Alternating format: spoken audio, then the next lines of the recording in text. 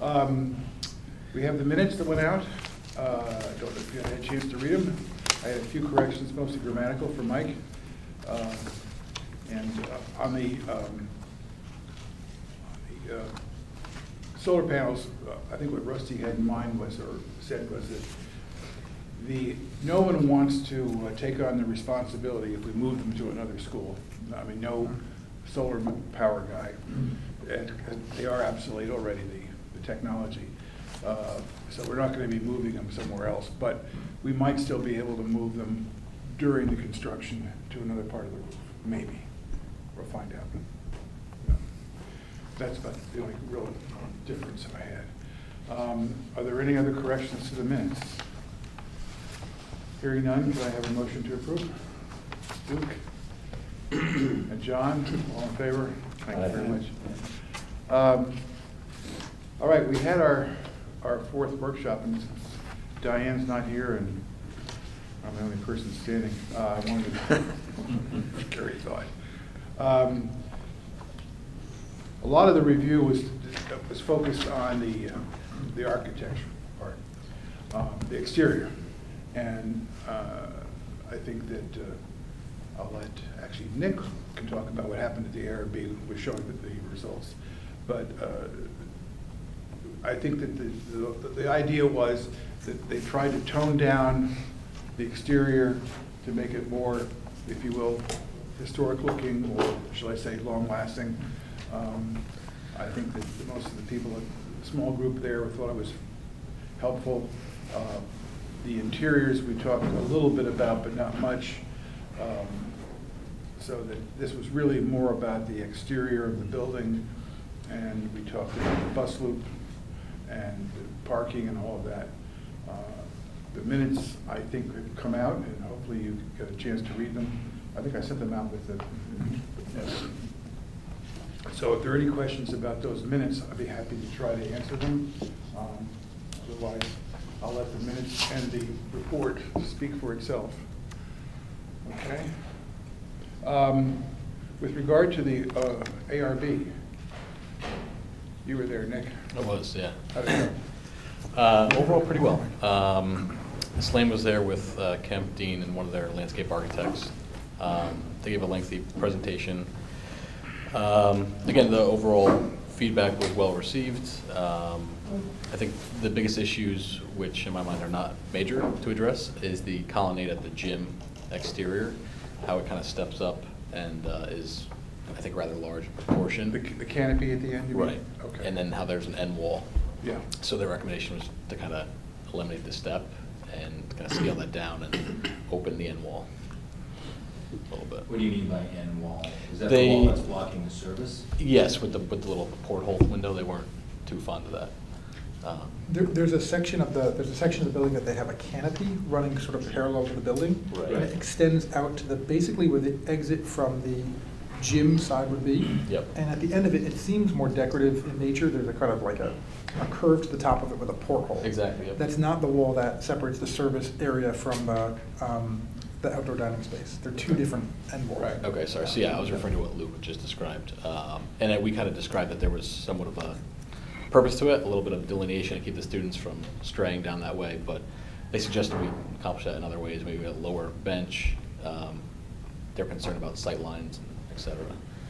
And also, it seems that um, according to the way the school schedule works, where the children arrive between, what, eight, eight forty and eight forty-five, Yeah. then they go out to the field to play first. Right. That- That would sort of, almost sort of be a blockage coming back into the main entrance, to that entrance down there, Yeah. so. Uh, How did they, uh, uh, uh, and this is very subjective, how did they uh, look at the ombre pattern in the brick?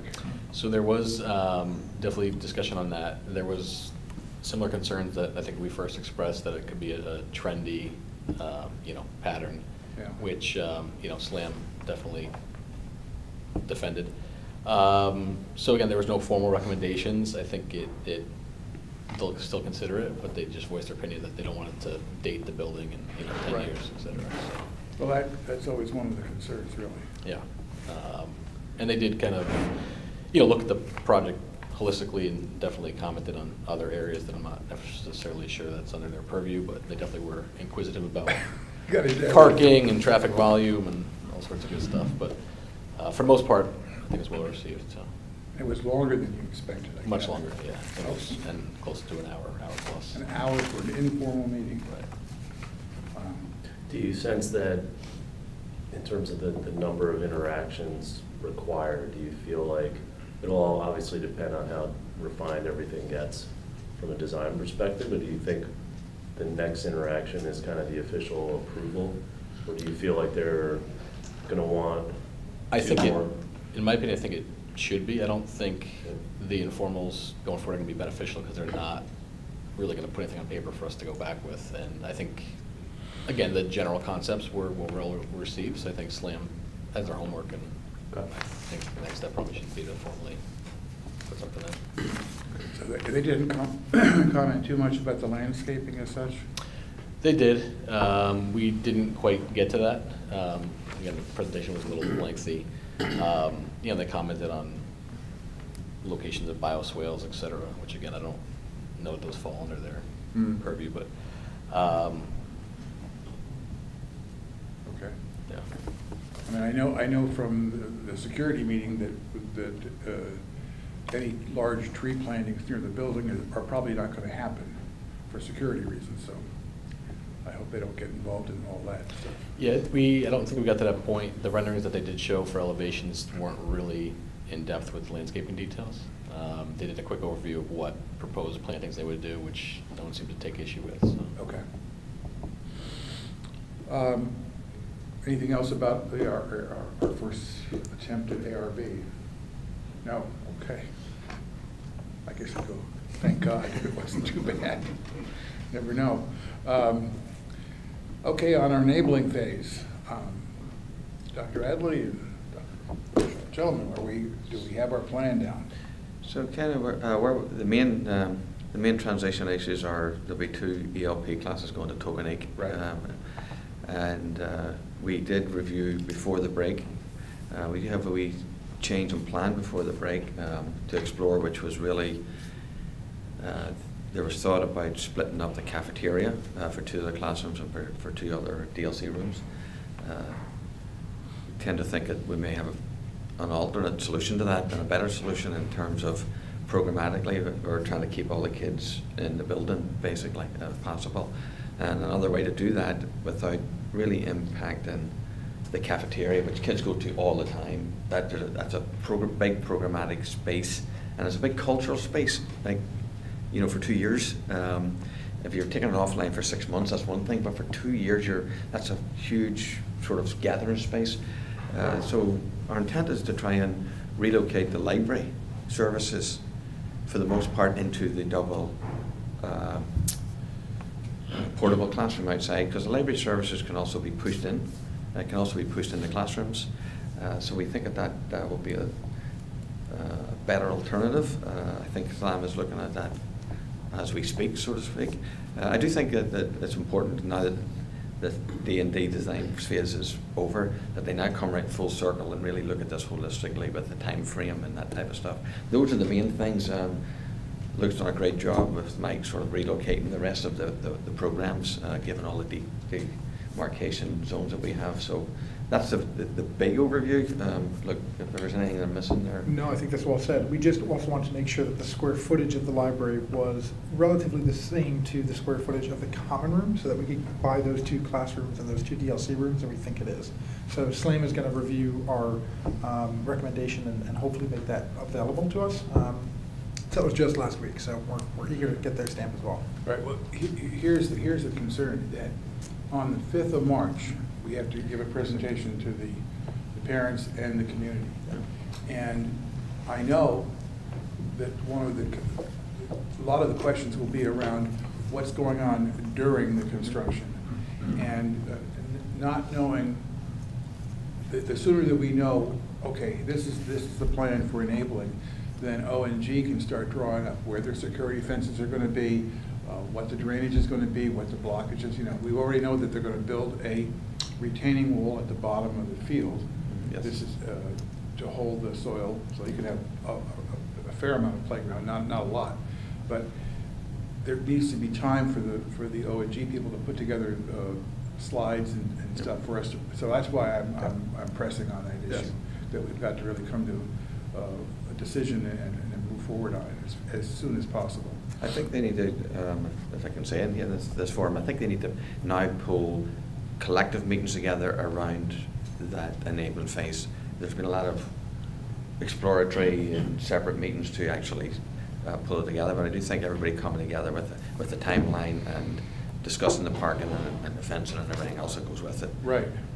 I- So where, where do you think you are with that? I mean, I, I'm hearing two sides of the story. I'm hearing they're waiting on us from an administrative standpoint, we're waiting on Mhm. them. So where are we at, Just- what needs to be done? To Kip's point, there is concern about what we're gonna present on the fifth. I don't think we wanna push that date back. No. We're trying to present to the board on the twenty-fifth, we wanna get in front of the RTM, but there seems to be this game of who's waiting on who, is the feedback that I'm getting.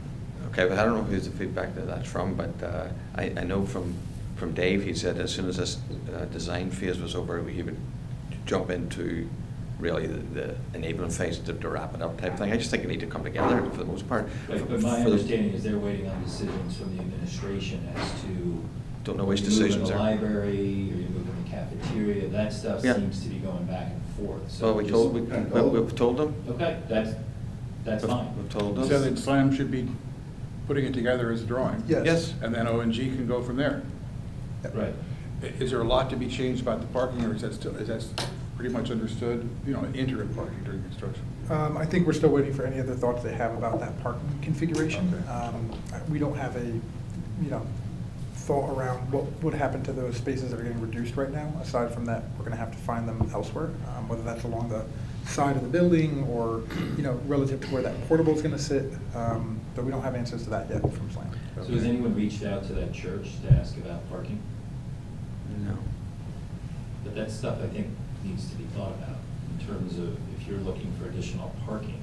and If someone needs to leave that, let's make a decision. Yeah. That seems to be vacant most of the time, whether it's construction parking or whether it's teacher parking or over, you know, probably should be Yeah. more teacher parking. and Maybe we figure out a shuttle or something so there, there's space there for, uh, parents and stuff like that. Yeah, so all those things need to, I mean, all those logistical things and the transition and the safety and everything else that goes with that does need to be addressed, and I don't want to do that, I certainly don't want to do that piecemeal, um, so I- I- it'd be nice, and I have to call it, I mean, I'm happy to call it, right? Um, But for the mo- most part, the spacing for the kids is settled.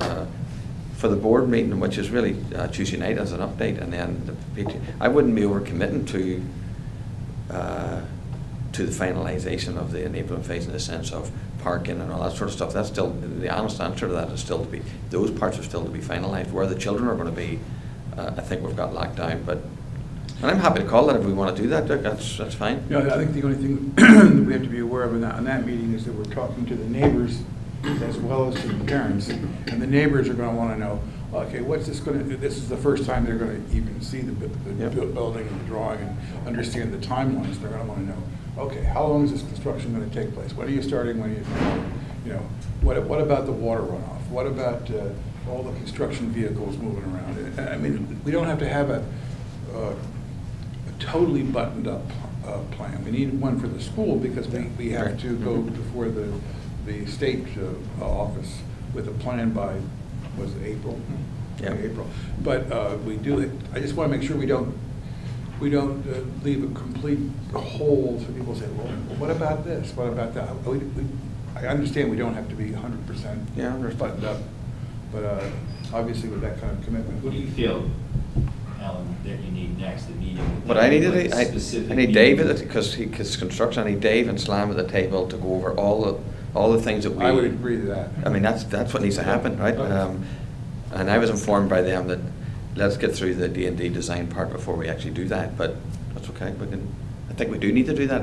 I don't want to do it in piecemeal, though, let's do, do the Yeah. parking and then let's do Well, I think something else. The key is if you've made all the decisions from a school Yeah, and we're- from where the children are gonna be, that's huge. That's Yeah, we're I good. we need It to sounds get like to. you've made all those, right? Yes. Yeah, so that's fine, and then. Michael, is there anything we're left, I've left out of that? I don't, I don't that was think. the, the focus of the meeting we had a week ago was um, to go, go over the idea of keeping the cafeteria as a whole part of the Makes school sense. Day-to-day operations, and we think we've got a good solution.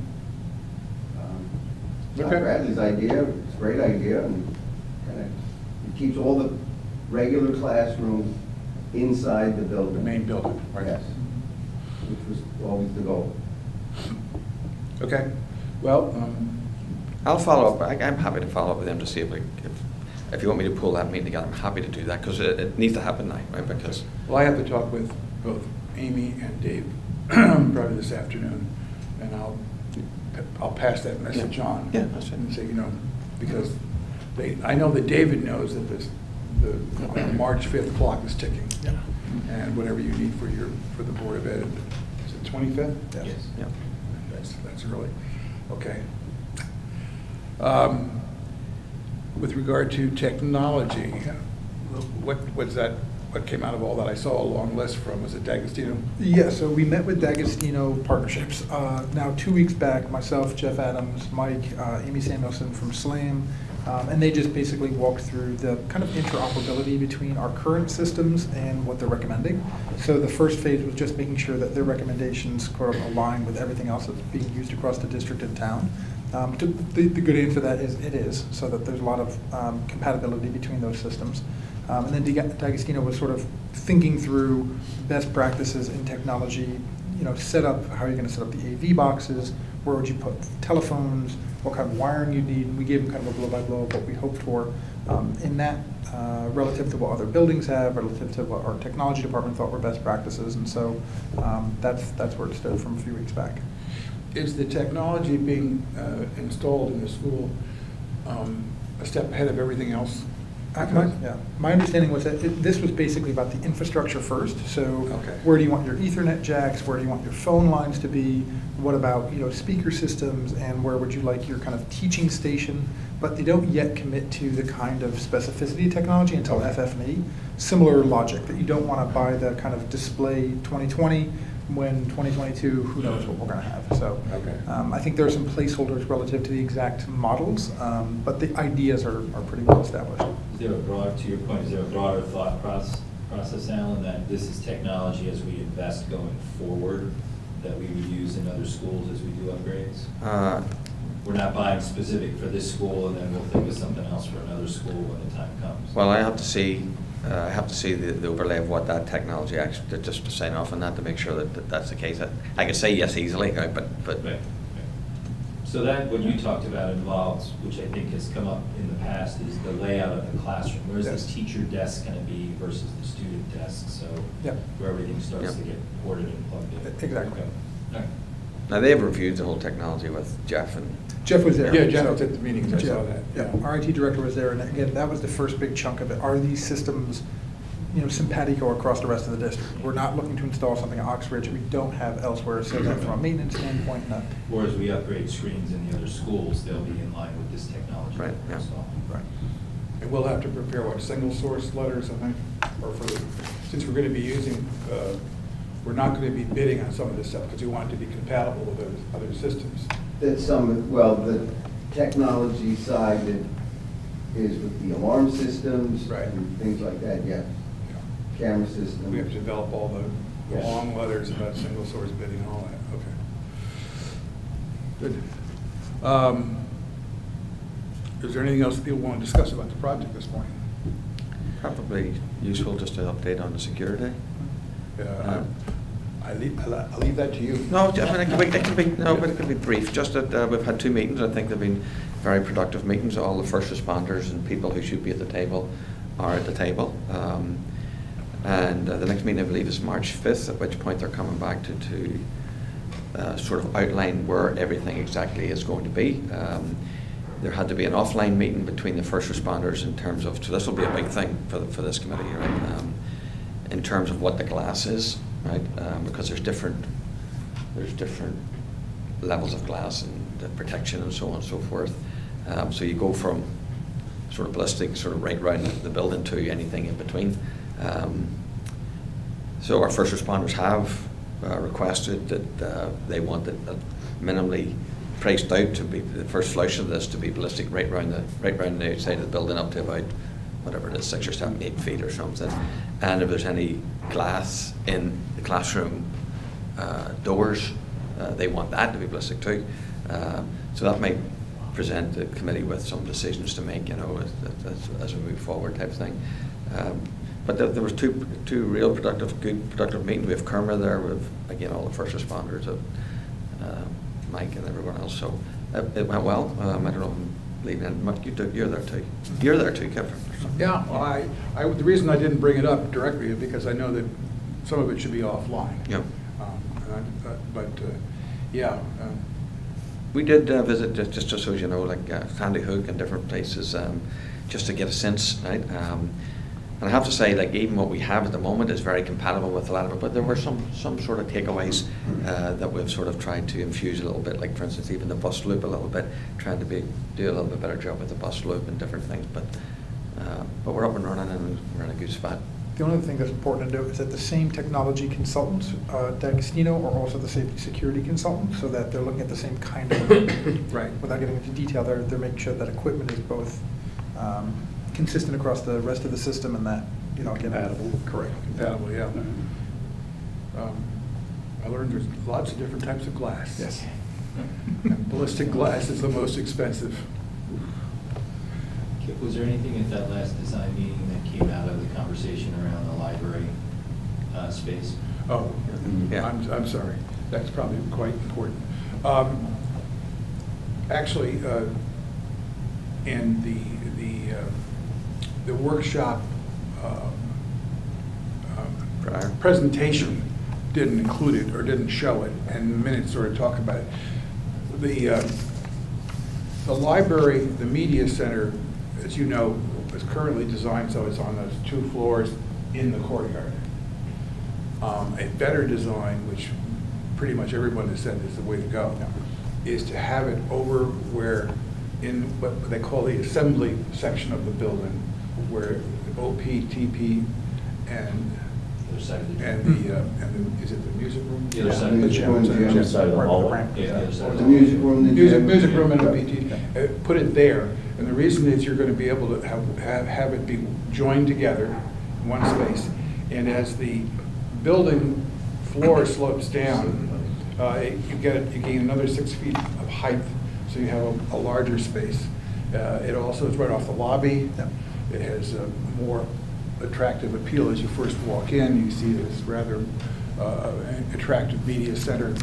And all we have to do is figure out where the other things that we're moving around go. Um, And there's been some discussion about that, and I'm going to be talking to Amy this afternoon about some possibilities on that.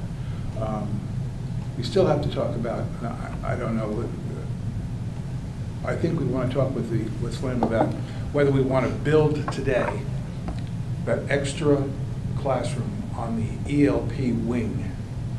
It's on the main level, just to give us the flexibility to have more space to move things around should we need to. And maybe that's one of the places that uh, can be a solution for where the OPPT or whatever goes. I'm not saying it goes out there, but um, it just seems to me that um, we've got three, it started out that we're building a school. Now it's, now, now, now we've got two more missions, it seems, that have come up, um, and reasonably so. One is that we're going to consolidate the DLC mm-hmm. in this building, which wasn't part of the initial program. And number two, this school will act really like a safety valve as the district tries to get rid of the pods at the other schools as they upgrade them. So you have to have a place where the students can be. And to the degree that this, is- this site's very difficult to build on, is, isn't it better to build it on a first shot? And that's a little bit larger than probably necessary for the students that are gonna be there initially. um, But a wiser approach, so that you have the room, the flexibility, safety, the safety valve, if you will, in the district. Now, I'm speaking about the district's job, not mine. But this is sort of the, I think is where the philosophy is trying to move to. I, you have to correct me if I'm wrong on that. But uh, I think that's what's going on here. Would? Well, it depends what you mean by the ninth. Do you mean the ninth ELP room, or do you mean an additional one beyond that? The additional one beyond that, In other words, there's, a s- there's a space available on the southeastern wing Yeah. to put on, the ma- only Yeah. on the main floor. Right. You don't go down. That's, uh, to put one more structure. So We this, go back to ten classrooms. on that one. You'd have ten, you'd have ten classrooms, but not necessarily dedicated to ELP. Right. Just ten class, another classroom. So it's easy for me as, a- as the superintendent to say I'd- that I'd like the additional space and it'll always come in handy. Um, I think that, I think the building is well structured as it is for classroom space. Um, But, I mean, if if it's, if it accommodates, which it probably would, some of the moving around that we're gonna have to do through all these libraries, reimagining the portable studies and stuff. Um, But I think it's, a- I think it goes, I think it's a, a- a, a discussion probably for the whole group at some point, just should, should that uh, be in place there? Because it's, an it's just an extra classroom that we're, we're building essentially, Yep. right? So Correct. A full-size classroom. Right. A thousand square feet, you know. So the building as it is right now, or else I would be clamoring for ano- another room, right? Um, I, I only, I only put it on the table because it seems to be, we, as we look at the design and we look at the cost of construction and we look, Yeah. at the- you know, is this a smart move to do today? And agreed, it it would be making it too large, but to, to John's point, originally, um, the last thing he wants to hear, the Board of Finance wants to hear is in three years, uh, whoops, we gotta, we gotta put an addition Well, on. it Yeah, I mean- it doesn't make, go ahead, John. Well, I'd say that our last two big projects, whether it's the high school or Tokeneke, they were really not designed with extra capacity. I mean, the buildings were fine, but in retrospect, there was rethinking of the space, there was a reconfiguration of creek capacity and all that. Uh, This is the time to give that a try. I think we have got uncertain demographics because of a lot of uh, state regulatory pressure as well as these construction projects in town that are about to launch. And they're so big and the state mandate on this is so significant, I really just don't think you can predict things with certainty. Uh, And you compare that with the incremental cost of building this extra capacity, this is the time to do that, because once we do that, we're gonna be short on capacity throughout the district for a while, while we try to get rid of these portables and all that. So it could be five, six, eight years of sort of capacity constraints while we get all this shuffled around and straightened out, uh, starting from today through the construction of this project. I just think it's a mistake to un, to under-design this from a capacity standpoint. I think as you look at the site, I, I don't wind up going back to the Board of Finance or any other body in town and saying, we wanna build one classroom. I mean, I think the site, the site is tight enough that you do it now, because I don't see. I won't be chairman. Yeah, fine, fine, fine. But it, it does give the ability of a swing space, there is a demand, and there is a process in place to remove the portables. And once that's done, there's a whole ripple effect of what has to be done in terms of right-sizing classrooms at Royle, the additional need for classrooms at other schools. So it just seems logical from a construction and a cost standpoint that that classroom fits there and gives us, you know, maximum The flexibility. But I think the key is, is this has evolved in terms of DLC classrooms, the ELP classrooms. Yeah. What we're doing is saying, look, there's classrooms in there, and the way the school is designed, they can be used, whether for kindergarten, ELP, DLC, and it gives us the flexibility in the swing space. If we have to move, you know, a neighborhood or a street back or forth to accommodate these schools, it gives us the opportunity. And, yeah, I- just, I don't know, just, That's like, listen, you you don't have to look to a superintendent to, to, because that's great for, that's, uh, that's, if that's, if if that's the understanding and people think that's a, a good idea, which I think is a good idea, um, then let, let's do it now. well, see, this building committee doesn't have the, uh, the background of the, of the district or the Board of Education, Mhm. except for, for Duke. Yeah. We don't, we're not at your meetings seeing what your, what your, your long-range uh, needs are, and, and it- that's why it's probably important now that we make sure that we don't make a mistake here Yeah. if there's long-range needs that. that- So one of the things, I guess what I would say is from my vantage point, with where we are with all of that, right? It certainly will help and create, and create more flexibility for us. I mean, definitely will do that for us. Yeah. Well, I just think that maybe, I, I know the state will always, I mean, I remember what, uh, what's her name, Michelle Dixon said? Yes. Just don't come back with more. Well, Yeah. we're com- we're coming back. But we've had two different, two different conceptual changes. One was the DLC, and now we're talking about making room in the district as the district wants to get rid of all the, the, the uh, the portables and, and make changes in those schools. So I, I don't know. So I mean, in terms of timing, that, it's probably a rather important decision that Should do it now. we make soon. We have to make it now. Yeah, You know, exactly. I mean, Right. I would say that by the, we're having a, what, a workshop next week.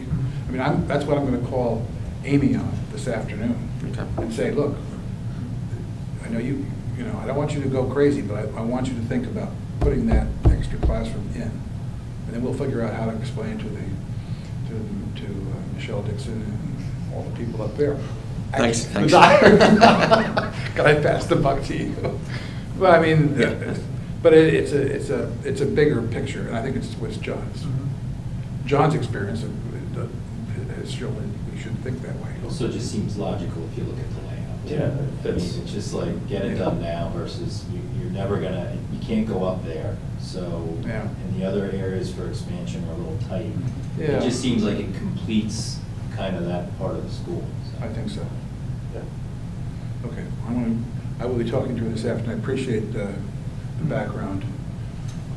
So that, that moving the library doesn't necessarily get all those other rooms into the former library space Uh. Well, we, we may have this, we may have the space elsewhere to, uh, at least for the time being, to put them, right? Especially if we put that extra, No, The concept makes sense. Yeah, my understanding though from the architects was that it was going to create a squeeze, that they were able to take that, the two-story concept and use the bottom part of that library to reallocate for another I space. think I that's they like were- the art room or something. Correct, I think they were thinking about the art room because it would spill. Which is the perfect. courtyard. But you're, you're more comfortable, Luke, especially with the library Yeah. concept. Ah, That- listen. I think it's the right way. In all honesty, until a Yeah. few weeks ago, until you actually see the thing, I was like, oh, wait a minute, that's not gonna work.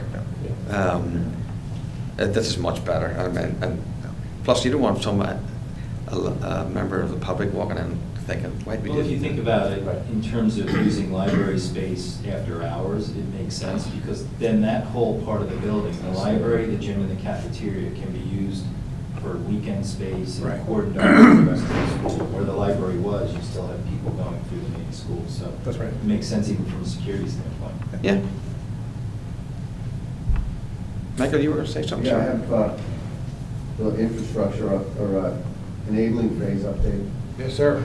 Um, Slam had a structural engineer out on uh, Tuesday, going through the building, looking for areas um, where they're gonna cut off and how to do, I walked him through and showed him all the, uh, the rooms that are staying and the rooms that are going, his diagram's a little off, so uh, I was happy to be. Okay, well, there you go. That's not helpful. Hence a meeting. And Alan was You just know, a look, wee bit. look at something. Just a wee bit off? be- Yeah. You mean, you mean this scribble doesn't work? You know, being there are two different things, and uh, so that was good. And all the, uh, all the test uh, drilling has been done, The boring samples. boring samples. Uh, Most of the soil was to be expected, um, sandy, and down to some till with, you know, stone rubble in it, and, you know, rubble stones, not rubble like debris. And, and they, they they left a uh, test monitoring well. They filled in all the areas on the play fields and stuff, and they were breaking them out yesterday. They dug the four test pits, and the two test pits behind the school show that the, um, the playing area in the back there is fill on top of the wetland, whatever was down there below. So when they dug down about two and a half feet, they started hitting old logs and tree stumps. And, and then they hit a layer of muck under there, so the drainage down there is probably gonna be a little challenging for the, uh, for the retention work that they have to Yeah. do on the lower area. It's, uh, it's, it's not impossible for engineers, but it's gonna be a little challenging. I mean, expensive. Well, they had, they had the, they had a very disappointing perk test on one, of the- on one of the holes. This is on the far western side of the, of the- of the That's property. correct. Down Okay. in the back, yes. Not to be, un- not to be surprised about that, I guess. No, the, not, they, they they dug a hole behind that, uh, where the, the blue uh, ball wall is, and then they dug a hole out and, um, more over towards the playground pieces, uh, that are out there on, on the southwest corner. Does the design still show a, a permanent retaining wall down there? Yes, I believe so. We used to have a huge one with a net over it in early Right. conceptual, but I thought that went away. You know, They, it went away, but now it's gotta go back. Oh. It's gotta go back because they said that if we're gonna move the soil down there and still have a field for the children to play in during construction, they've gotta put the retaining wall back in. So this is a temporary No, condition? permanent- A permanent, Okay. so, adding- it's adding to the cost, but it, it saves taking the soil off-site, which Okay. adds a huge From the cost. excavation, got it. Yeah, and of course, it's only gonna be down there for, you know, what, eight months, six months, whatever, whatever. and, uh, Did they come to any conclusion on that grade for that field to actually be overflow parking? They talked about that if they were gonna make it for overflow parking, they had to, on the northern end, they had to create a more of a a gradual ramp down for cars to get down there. Which then took away from some of the Play places. Some field of, space. some of the playing field, so there, there's a trade-off there, whether you have to have that or not. And I think they needed their expert on topology that they were circling back with to see how that would go. But the, the point of the boring samples, besides the fact that we've got a, a problem down at the western border, um, is that the soil where we're gonna build is, is good, is what they thought it was gonna be. Yes. Which is good, because we don't have Yes. to bring in, I mean, the original idea was going to bring in, you know, a couple hundred Yards. yard, a thousand yards. of- Yeah, no. No, okay. They're, they're good. The soil, the soil where the building is gonna be constructed is good. It's good, excellent. Did, um, has Hygienics completed their, uh, I don't know, study, or they, they have a recommendation during, for the enabling phase? Yes, he finished his study, and um, I put him in touch with Amy. Okay, So when he writes up his specification piece for, for the, uh, for the enabling, you know, for the Yeah. demolition, says phase one, um, he can have his headers and footers match Slam's, so it like seamlessly goes right in the, the book, so okay, he's done that for, you know, other Right. architectural firms, and uh, so I, I left it with them last Thursday that they had each other's emails.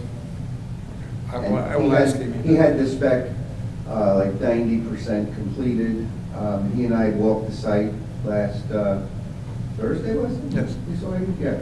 Tuesday, yeah, Tuesday, actually. Last Tuesday, right. And, and so we, we actually walked exactly where, uh, some of the windows that tested positive for PCB. Right. Um, there's a certain excavation, uh, Right. eighteen, in- uh, eighteen inches down, three feet out, which you have to do around. Um, so we, we laid out exactly where those excavations were gonna be. Okay, So we're not excavating, you know, where there's just a straight brick wall. right. Did the engineer, the structural engineer tell you we have to do something special, or is he coming back with a report? Because we'll need that for the. No, he's building coming back, uh, he's coming back with a report. He, he didn't seem to think, you know, a lot of places where the, where the, uh, building shows is breaking, Right, um, it, it's a natural place for it to be.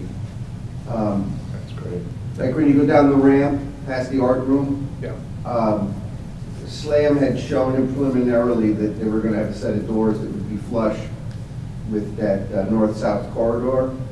But if you come out eight feet, there are doors and an exit sign, and there's a structural concrete beam. uh, So I said, why don't you go here, just, you know, put a wall here, and you save all the money on the doors and stuff. So he was gonna recommend that, okay.